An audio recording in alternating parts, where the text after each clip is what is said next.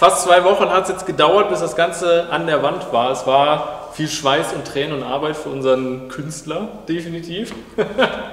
und Dennis, wir sind gespannt. Ja, wie auf jeden Fall. Das Das äh, aussieht gleich voll, aussieht. voll im Gesamtbild daher. Ich meine, wir haben es ja die ganze Zeit schon gesehen, aber wir haben es ja die ganze Zeit nur so von, ja, Von so gesehen. von, ja genau, von so oder wo wir direkt davor gestanden haben. Aber wir haben ja so viel Platz hier in dem Laden, dass wir halt auch einfach wissen wollen, wie es dann komplett aussieht. Und ich würde sagen, das gucken wir uns dann jetzt an. Ja, ja, ja.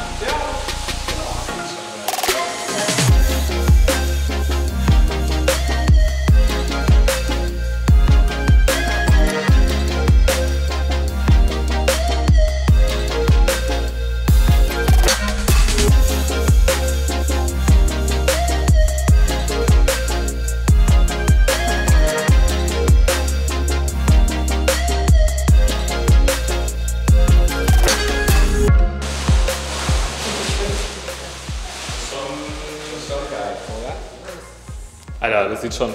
Also wenn du von hier, von hier stehst und dir das anguckst, ne?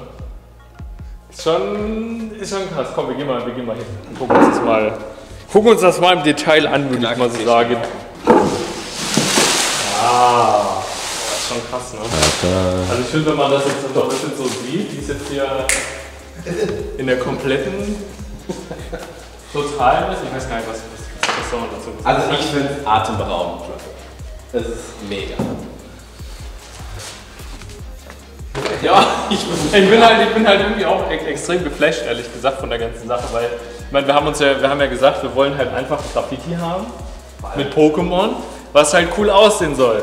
Und dass wir jetzt das haben, ist halt schon Krass. extrem, extrem Vor allem geil. wirkt es jetzt nochmal ganz anders, ohne diese ganze Kacke Ja. hier im Bild. weil du einfach, weil du jetzt einfach die Tiefe im Raum hast. Ja. Und wenn du wirklich dann einfach da stehst und dir dieses Graffiti anguckst, ich meine, wir können ja mal, wir können ja mal erzählen.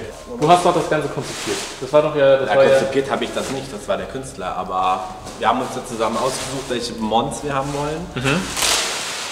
Und das ist jetzt raus geworden. Also, Yes. Ich meine, der eine oder andere hat es ja schon gesehen, dass wir hier ein bisschen äh, uns inspiriert haben an ein paar Karten. Zum Beispiel das wunderschöne Golgantes, was wir, hier, Alternativ Art. was wir hier stehen haben, was halt wirklich die alternative Artwork von Drachenwandel einfach ist. Wir haben, Das Fullat Aquana, äh, Aquana. Das Fullat Flamara aus Drachenwandel. Wir haben die VMAX Alternative Aquana aus den Specialboxen. den Boxen, die niemand bekommen hat. Wir haben einen Voltoball aus Pokewiki.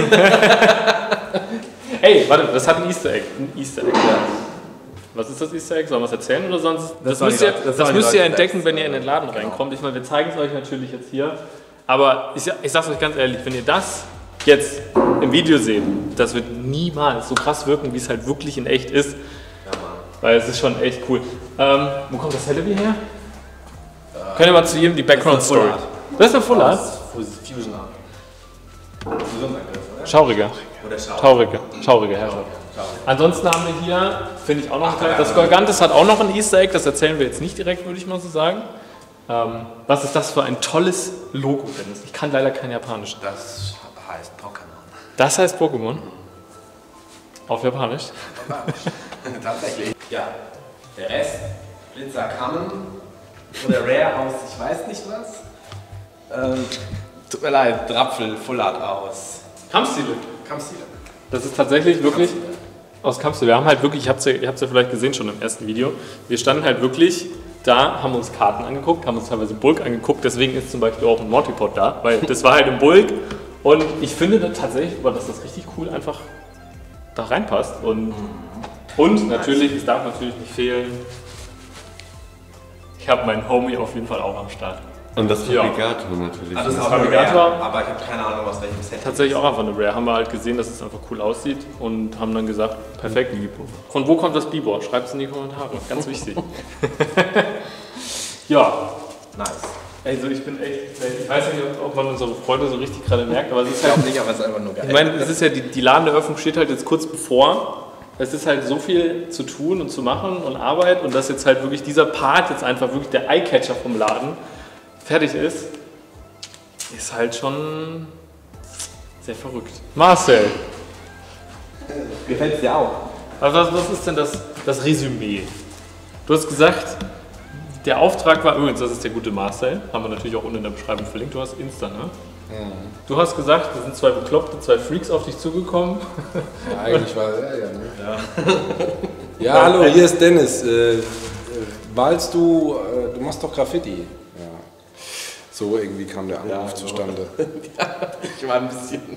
Genau, und irgendwie ging es um, um, um Pokémons und ich habe mir noch gedacht, oh Gottchen, was, was, was, was soll das denn jetzt werden? Naja, und dann bin ich hierher gefahren und habe eure Wand gesehen.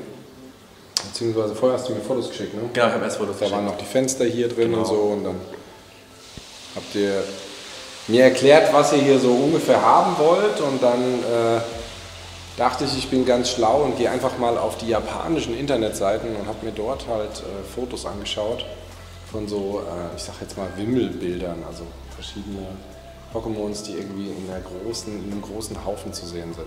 Und habe äh, irgendwie so ein bisschen angefangen, was zusammenzuschustern und ähm, ähm, habe dann eigentlich ziemlich schnell gemerkt, dass das alles gar keinen Sinn macht. Ähm, weil das irgendwie nicht das wieder gibt oder irgendwie fehlt dem halt was. Und dann habe ich euch angerufen dann sind wir nochmal zusammengegangen und haben, ich glaube, in einer knappen Stunde Karten sortiert und äh, uns Sachen angeschaut und dann kam hier ähm, der Golgantes irgendwie dabei raus als äh, ziemlich abgefahrene Figur. Ähm, dann habt ihr mir erklärt, dass hier ähm, Flamara, Aquarana und Blitzer irgendwie zusammengehören und dass das dann auch Sinn macht, dass man die alle drei irgendwie zeigt. Ähm, dann haben wir uns noch ein paar Sachen angeschaut, die halt irgendwie von der Perspektive her von der einen Seite ins Bild kommen und von der anderen Seite ins Bild kommen. Und ähm, somit hatten wir irgendwie diese, ähm, ich glaube 14 Figuren sind es jetzt, 14 Pokémons. Ja, haben uns darauf geeinigt, dass das, dass das die Motive sein sollen. Und dann ja, habe ich das Ganze irgendwie zusammengeschustert. Und ihr wart ziemlich schnell damit einverstanden. Gut war, dass ihr euch habt überzeugen lassen, dass wir hier diese Fenster noch zukitten, weil ähm, äh, hier ähm, sind Platten verbaut. Kennt ihr ja doch aus den Videos, da waren wie gesagt wirklich ja die Fenster. Genau. Weil die würden das komplette Bild nochmal äh, zerreißen. Und wenn du nochmal rumschwenkst, dann sieht man ja auch die Türen, die beiden, die jetzt mehr oder weniger in diesem ganzen Ding hier verschwinden. Ja. Irgendwie acht Tage Arbeit. Ha, ich bin froh, dass es vorbei ist. Aber ich hoffe, es hat dir natürlich trotzdem Spaß gemacht. Ja, war eine coole Nummer auf jeden Fall. Also, ähm, ihr seid ja zwei sympathische Typen, die hier ähm, sich ihren ähm, Hobbytraum quasi ähm, verwirklichen. Und wünsche euch dafür äh, viel Erfolg, was ihr hier so auf die Beine stellt und mit dem Laden. Ja, Vielen Dank. ich glaube, das wird cool. Gucken wir mal, was die äh, Herrschaften, die Kunden irgendwie nächste Woche sagen. Ja, Leute, wenn ihr irgendwas gegen das Graffiti ne, sagt, dann gibt's Hausverbot. Direkt. So, jetzt machen wir die Tür auf. Achtung.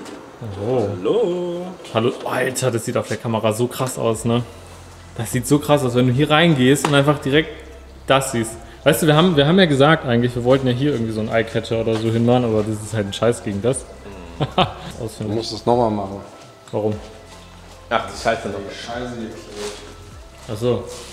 Dennis, wer hat da gepusht? Ich. Hast du gepusht? Ja, ich habe noch mal ein bisschen blau drüber gelegt. Was ist dein, was ist dein Statement, Feedback? Ich bin begeistert. Hammer. Ihr kennt ja Marcel, der kann seine Begeisterung nicht zeigen. Das stimmt, das stimmt. Aber ja. er ist wirklich. Ich freue mich, ich freue mich. Ich Ich meine, wir, wir reden ja die ganze Zeit schon im Lager darüber, dass der Laden ja jetzt endlich aufmacht und was weiß ich, ne? nicht? Schade. Frag mich nochmal, ob ich jemanden grüßen will. Okay, Marcel, möchtest du noch jemanden grüßen? Oh, schön, dass du fragst. Ich hab keinen Bock mehr. Ja, na klar, ich grüße noch meinen Sohn Emil. Da würde ich sagen, Leute, das war das Video dann zum Graffiti. Ich habe einfach gedacht, wir machen einfach wirklich ein komplettes Video nur zum Graffiti, ein Update, Ladenvlog, weiß ich gar nicht. Ich gucke mal, dass ich vielleicht für nächste Woche noch einen vorbereite, weil nächste Woche ist ja dann auch schon direkt die Eröffnung, beziehungsweise 13. 14. haben wir gesagt, gibt es mit Tickets.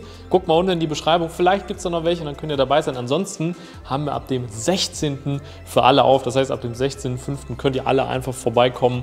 Und ja, da freuen wir uns sehr drauf. Ansonsten guckt auf jeden Fall auch beim guten Marcel vorbei, der das Ganze für uns hier an die Wand gesprüht hat. Also der macht wirklich super Arbeit. Wie gesagt, seine Webseite Insta ist unten in der Beschreibung verlinkt. Der ist sein Geld auf jeden Fall wert, würde ich sagen. Und ansonsten würde ich sagen, Leute, sehen wir uns beim nächsten Video wieder. Und äh, ja, hoffentlich dann natürlich auch im Laden. Wir freuen uns sehr auf euch. Ja. hast du dich auf die Hallo. Rechnung? Ja.